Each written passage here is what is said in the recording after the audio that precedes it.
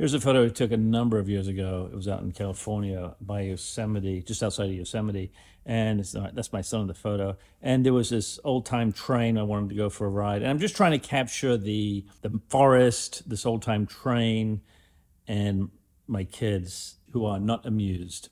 My name is Paxton, and I teach just how to improve your photos with very simple composition in very easy ways we can improve just about any photo. If you follow along, listen to my logic and apply the same logic to your photos. So with that, let's get started. First off, let's talk about this photo. Obviously, this is another bad photo I took because the sky is blown out. I think this was with an iPhone 6. I mean, it was that long ago. I, I was trying to capture the forest and everything, but it, it doesn't really work and the sky is blown out. And so as soon as you look at this, obviously the subject matter is the people because people are interesting to look at and that's what we tend to gravitate to. But you always go up to the top left because it's this bright, high contrast area.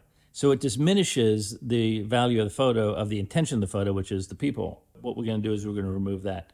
One cool thing about this photo is we have this nice big black back of the train. That frames the people very nicely. So what I'm going to do is I'm going to crop it, or I should say frame it, for, that's what the professionals say. Something like this. The forest frames the back of the engine, which frames the subject matter. And we have this progression here. And because we have this tree, pretty large tree right here, I'm going to use that. I always, if I could find a tree trunk like that, I use that as the border of the image. And so we'll have the same kind of shape. This will be equidistant from here and here and hopefully we can still capture some of this forest feel. So with that, let's get started. First on the left-hand side, we're gonna frame this.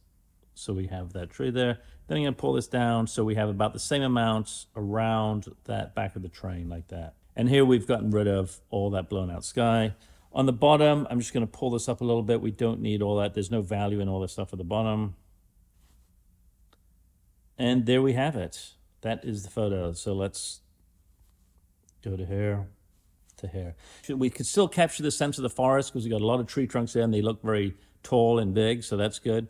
The back of the train engine frames uh, my son there, who is looks very unimpressed. But that's what I want to capture. You want to cap- we want to capture our kids and the photos of our kids. And there you have it. So I think this is, you know, way too much information. And immediately you look up the top left because it just commands our attention. So I can improve this further by adjusting colors. It looks a little faded out. You know, using the Magic Wand tool, you can go very far, making things look good. So I'll just do that. So the idea is, again, just follow along my logic. My logic and my rationale is very simple, and we can make great improvements in the photography if you just ask yourself, what is the story and what is taken away from the story? So thanks for watching. And if you like it, please like and subscribe, and I'll see you in the next video.